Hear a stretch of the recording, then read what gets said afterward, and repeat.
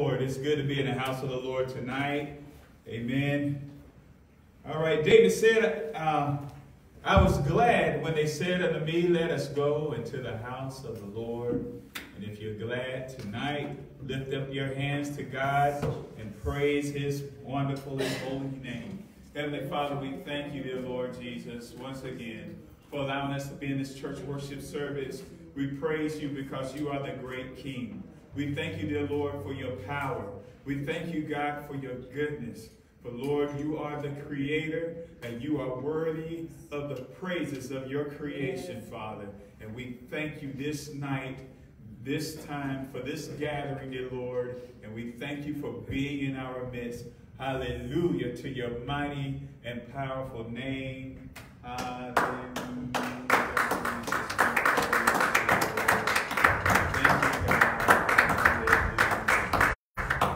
Amen. All right.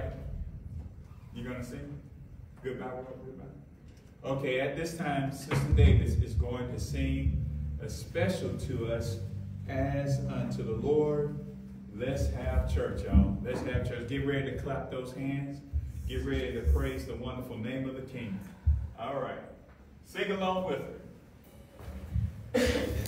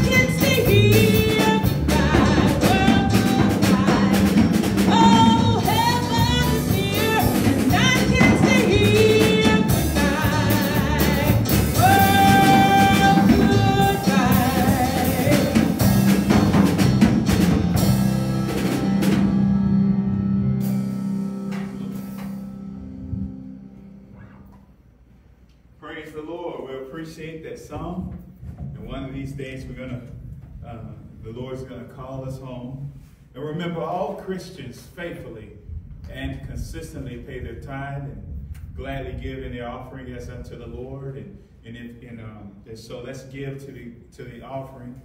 Uh, and you can see right there in the photo section, I believe Sister Davis said, that uh, you can give. There's a link right there in the photo section, photos section, where you can give, all right? And so let's also be asking people about different church buildings and things, be asking around because our brothers and sisters, we, we have to move on forward. And so we want you to pray. And um, so at this time, Sister Davis, I mean, rather, Reverend Serrano is going to come and he's going to uh, minister the word of the Lord to us. God bless you, sir. Appreciate you.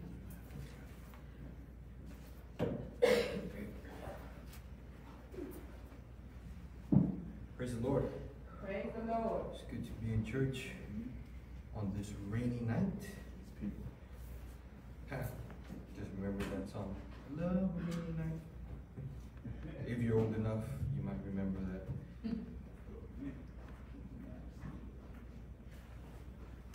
I want to thank y'all for joining us, for, everybody who's joining us over the internet, for those of uh, joined us here tonight physically.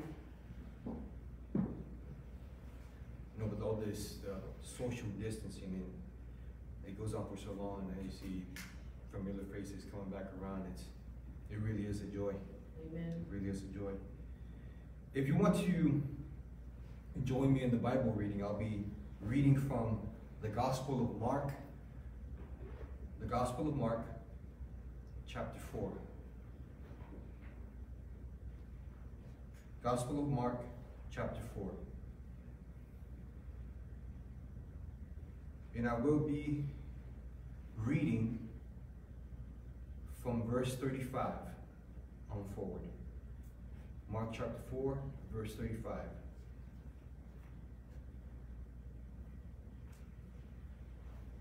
And the word of the Lord says, On the same day, when the even was come, he saith unto them, Let us pass over unto the other side. And when they had sent away the multitude, they took him even as he was in the ship. And there were also with him other little ships. And there arose a great storm of wind, and the waves beat into the ship, so that it was now full. And he was in the hinder part of the ship, asleep on a pillow, and they awake him.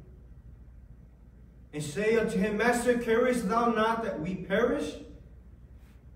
And he arose and rebuked the wind and said unto the sea, Peace, be still. And the wind ceased, and there was a great calm. And for a text, I want to take verse 39. I want to concentrate on that verse right there. Basically, the message is going to be centered around that one verse, verse 39. And he arose and rebuked the wind and said unto the sea, Peace, be still. And the wind ceased, and there was a great calm. And for a little while, I want to speak on a one word title Quiet. Quiet. Pastor, you ask the Lord's blessing, sir. Heavenly Father, we thank you, Lord Jesus, for the moving of the Holy Spirit tonight. Lord, and for the title and for the Bible reading. Father, we ask that you will unction Reverend Serrano afresh. Make preaching easy, easy for him and, him and give him clarity of mind. Dear God, as he preaches the words of eternal life to us, the congregation. And Lord, let us focus our attention 100% on what the Spirit would have to say to us tonight. We ask all this in, in the mighty and powerful name of Jesus the Christ. And the church said, Amen. Amen. And he arose and rebuked the wind and said unto the sea, Peace. And I would like for us to insert the title right there. Imagine the Lord Jesus, after he, after he had been awakened out of his sleep, getting up, and put it in the modern vernacular, looking out over the over the sides of the ship and saying, Quiet! Quiet! The situation nowadays. Oh, let me back up a little bit. Let me back up a little bit. We tend to think that when Jesus comes around, everything else is supposed to be muted. There's nothing troubling around us. Nothing is supposed to be raising our, our hackles. We're supposed to be getting along with each other. But as I was uh, looking into this right here, Jesus was asleep in the middle of the storm. There's too many times that we expect God to quiet things down when He might actually be bringing the noise. Hmm, right. He might be letting the noise come to test our hearts, if not to test, at least to strengthen. All right. Amen. At least to strengthen. We have to be mindful as we look at these passages that he in no wise was budging from his pillow until somebody woke him up. The waves didn't wake him up. All right. The wind didn't- didn't wake him up. Right. If anything, he was probably asleep very much like uh, I sleep. There's been many times when uh, I'll ask my wife, oh, was I asleep? I said, oh, yes, you were out. Says, you were out. And many times I know I'm sleeping real good because I'll wake up and I know my mouth was open. My pillow is dripping wet from the saliva because I was dead asleep. And even with a house full of grandchildren and everything going on, there ain't nothing waking me up. Just because something is boisterous, because something is loud, doesn't mean we should be troubled. All right. That's right. Doesn't mean we should be troubled. The situations nowadays, my friends, I wonder if it's a test for our hearts. It's like the, the blinking game. When you get with a friend or you- you're doing nothing at home and you challenge each other to a stare, a stare down, see who, who blinks first or who starts laughing or giggling first. I usually don't last about maybe a quarter of a second. I'll start giggling. So I, I'm, I, I, I'm a big loser in that game. But you know how it is? It's like you stare each other down. And you're trying to hold your, your cheeks and your features together, like you don't want to lose it. And then, of course, the one, the first one who smiles or giggles or whatever is the loser. Is the loser. It's very loud out there right now. The things going on in the world and in this country. And as I started saying, I wonder if, if it's a test, see who's the first one. Not that it's wrong, but there's tests come in different in different ways. And this what we read right here, it happened in the boat, might have been a test. We right now, brothers and sisters, might be in the boat with Jesus. See who's going to be the first one to rouse him from his sleep because we're scared, because it's too loud. Maybe it was supposed to uh, take in another half a foot of water. Maybe it was supposed to. And still make it to the other side. Hmm. All Maybe the winds were supposed to pick up another 15 miles per hour and still make it to the other side. Testing the hearts. All right. Who's going to be the, the loud one? All right. Who's going to be the first one to blink? All right. Who's going to be the first one to start laughing or crying in these situations and go to God, wake him up, and him stare you down? Instead of calling you unbeliever, you lose. Instead of asking why you're afraid, you lose. Hmm. You lose this. You lose this round. With all this stuff going on around today, brothers and sisters, I don't. I know what it's like to be afraid, but I hate the feeling. It's not that I can't be afraid. I just hate the feeling. I don't like it. Amen. There's just like being in certain physical. Uh, everybody has their the things that they don't like, whether it's physical, mental, uh, uh, emotional, spiritual. There are a lot of things we can't deal. We don't like dealing with. It just is like, get it off of me. I don't want to deal with that. And fear is one of them. Not that I know what it's like to be fearful. I know what it's like. But it's a feeling that I, I detest it. I don't like being afraid. I just, I, I don't. And I think it's because there have been times where it was like a, the situation in this boat.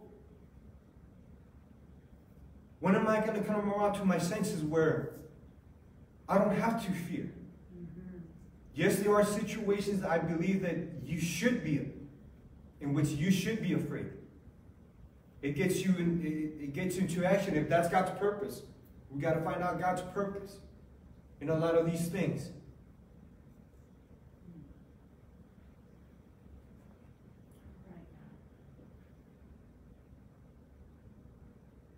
It's been my experience that when you are fearful, you tend to make a lot of noise. When something's going around uh, uh, in your life that it's just really disturbing to you. When people are, are at each other's throats. Yes, maybe one party did the other party wrong, but the the relationships are so complex that there might be something deeper in the victim that was woke up that caused them to lose that realm. When you're so insecure that you gotta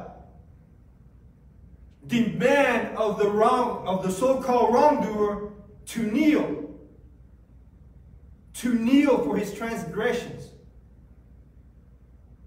I'll put I'm just going to put it simple you're insecure you're asking for stuff that is not going to heal you Take marriage, for example. That's a complex situation, a relationship right there. And you can ask any couple, you know, at least a healthy couple, I'll go with that. You know, when one, one transgresses the other, and then there's forgiveness, if, one, if the one that was done wrong asks the transgressor to kneel, really? It's, I, I wouldn't feel, I, I it says, you, I, Pastor, you know me. if you can't forgive me, don't forgive me at all. If you want me to do that, if I already admitted that I did you wrong, or that, or you're accusing me of something that I didn't do, especially, and you're lumping me in with the a group that you detest, and you say kneel for your transgressions, maybe they deserve that. But if you're asking for that, quite frankly, you might need to go run to God and wake him up. That might be the right time to go to God. Amongst all that noise, amongst all that, that boisterous wind and the waves, that might be the right time to go to God and tell them, calm my soul. Calm my soul. That would be a good time to get God's attention. I don't think I, my wife has ever asked me to kneel when I've done her wrong. And I've never asked her to kneel when she's done me wrong. I don't think any of you have. So you just, you're insecure. You're afraid of things if you do that. Mhm. You have to be. You just, you just have to be. You're so undone, so incomplete to, to do that. So undone and incomplete without God and in darkness. That's why you're making all that noise, is because of that fear. Fear. And it's high time. When we hear God in those moments, you hear Him say, Quiet! For real, be quiet! All this stuff going around uh, uh, in the world and in our neck of the woods, in our nation. Are we, are we going to go wake up God when we shouldn't be waking him up? Or dismissing him when he we should be getting his attention? Quiet. Quiet, just like little kids. His mom, mom's been babysitting, watching them for a few hours. First few hours are fine. They pulled out all the crayons, all their dolls, all their GI Joes. But then that the, the, the sun comes, starts coming down, it starts getting dark, and they're still going at it, the kids. And mom has to say, quiet. That's enough. Settle down.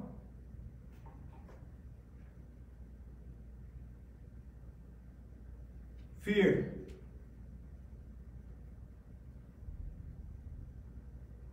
Thank God for the thunder. Thank God for the thunder. Fear. Doesn't mean you get careless just to prove that you're not fear. Fearful. right. Amen. People might think that I don't feel anything just because I, I like numbers. I like my I actually like my feelings to be based on facts. I don't like my feeling I don't like my facts to be based on feelings. All right. So I'm not against feeling stuff. I'm not against emotions. It's just that if I'm if, if I'm gonna be mad or upset or happy about anything, I have to have a good reason for it. Amen. I have to have a good reason for it. Absolutely. You. But my default setting is I like being happy for no good reason. Because it's a good feeling. It's a good feeling to know that Jesus is still in control. Yes. If he's drooling on his pillow right now, it's a good place for him to be. And it's a good place for me to ride out this storm in the same boat with him. All right. Amen. Amen. It's a good thing for us to be in the same boat with Jesus. If he's if he's over there sleeping, Amen. You tell. It- it's a good thing. We ride out this storm, whatever comes. Amen. I don't want to be the first one to like No, I can't take no more. I'm not, and, and please do not mistake that as, as, a, as ignore God, don't worship Him, and, and don't fellowship with Him. Mm. That's not what I'm saying. I'm, I'm, ta- I'm you gotta have the right perspective on, on this message.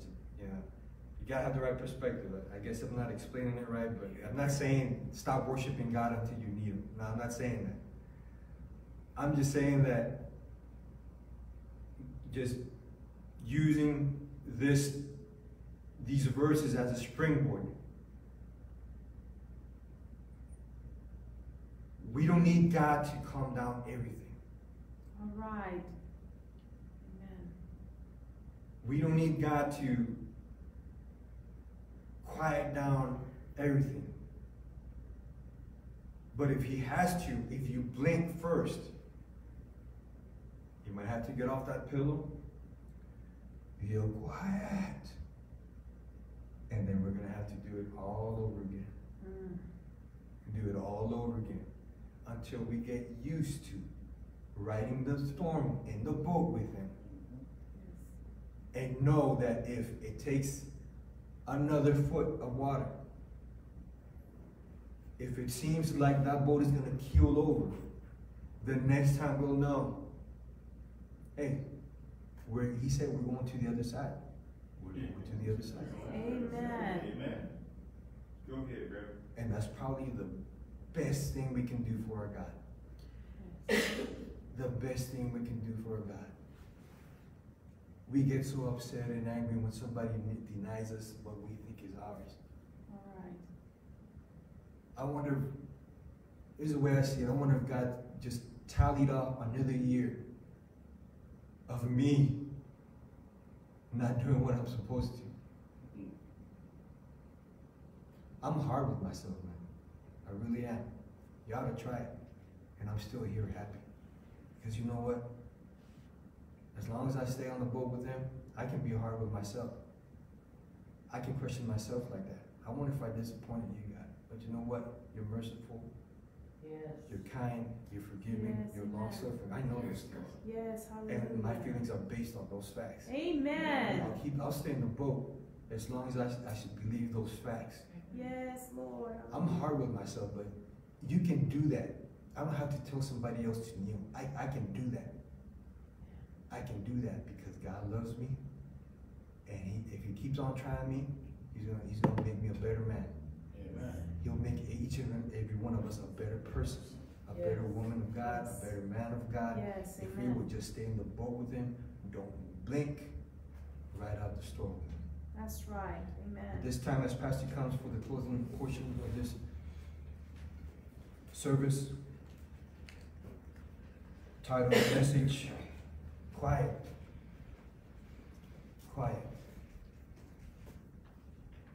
Do we trust God? We trust Jesus? Do we stay in the storm with Him? It's up to you, Pastor.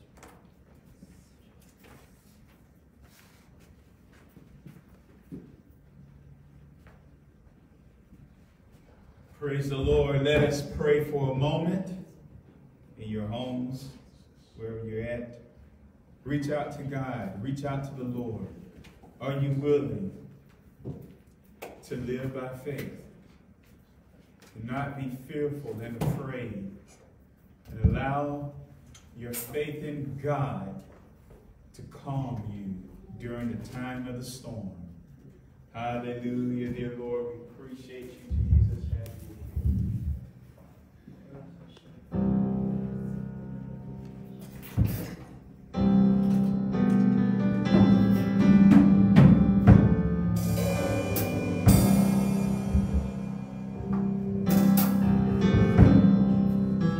God spoke to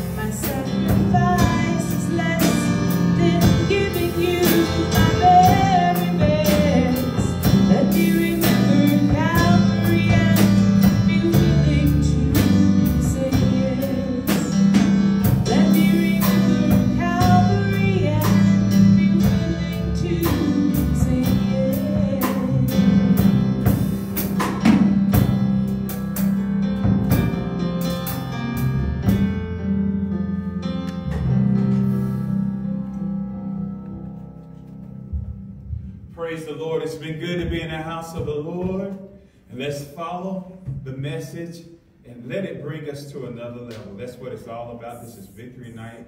And really, to me, that uh, message was all about growth. You got to grow. You can't stay the same. You got to refuse to be the same. And your, your chief aim is to become more and more like God. You have to change yourself in the in the word of the Lord, okay? And at this time, we're going to go ahead and uh, dismiss in prayer. Heavenly Father, we thank you, dear Lord, for all the things that you have done. And Father, keep your hands of mercy upon us, dear Lord, until we meet again Sunday morning at 11 o'clock. We ask all this in the mighty and powerful and wonderful name of Jesus the Christ. Amen. And, and before we get offline, um, I want y'all to start asking people about church buildings. Um, it's, it's one thing to look it up online. I, I really don't want to do the look it up online because you're not going to find anything. But there, but there's a church building out there somewhere that's real nice, and um, and, and so we're gonna put this thing together, okay? So at this time, let's go ahead and get out of here. God bless you real good. Sunday morning.